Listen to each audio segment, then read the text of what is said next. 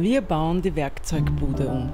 Wie ihr seht, hat diese Werkzeugbude zwei Türen und das, obwohl sie nur vier Quadratmeter groß ist. Auf der einen Seite ist Gerätschaft und Werkzeug und auf der anderen Seite ist auch Gerätschaft und Werkzeug. Und das ist ja nicht so praktisch, deswegen dachten wir uns, wir bauen nicht nur ein Fenster hinten ein, nein, wir bauen auch innen um und werden eine Sauna installieren. Hier zwischen ist eine Wand und die Wand werden wir verkürzen hinten und dann stattdessen auf der Seite eine neue Wand näher zu uns machen. Also dieser Raum wird verkürzt. Dadurch haben wir zwar weniger Platz für Gerätschaft und Werkzeug, aber man konnte bis jetzt eh nicht gut ran, weil dieser Raum so tief ist, dass man die Sachen nicht wirklich gut rausnehmen kann. Und auf diese Art bringen wir das Werkzeug näher an uns. Und in der frei werdenden Ecke hat der Saunaofen Platz.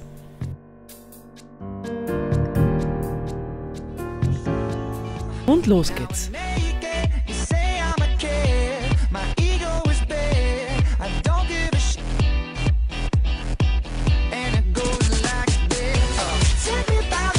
Doch zuerst bauen wir hinten das alte Fenster ein.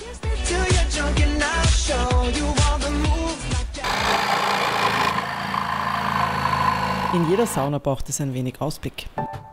Dazu verstärken wir die Holzkonstruktion rund um die ausgeschnittene Öffnung in der Holzwand.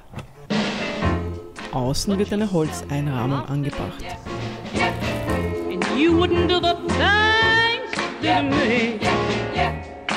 Und dann wird die Sitzbank montiert und fertig. Der Raum ist klein und daher brauchen wir nicht viele Saunasteine.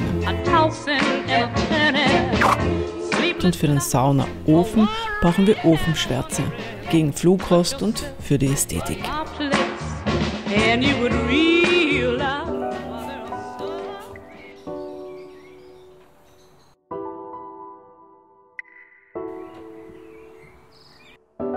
Die Sauna ist so klein, dass sie in 15 Minuten voll aufgeheizt ist.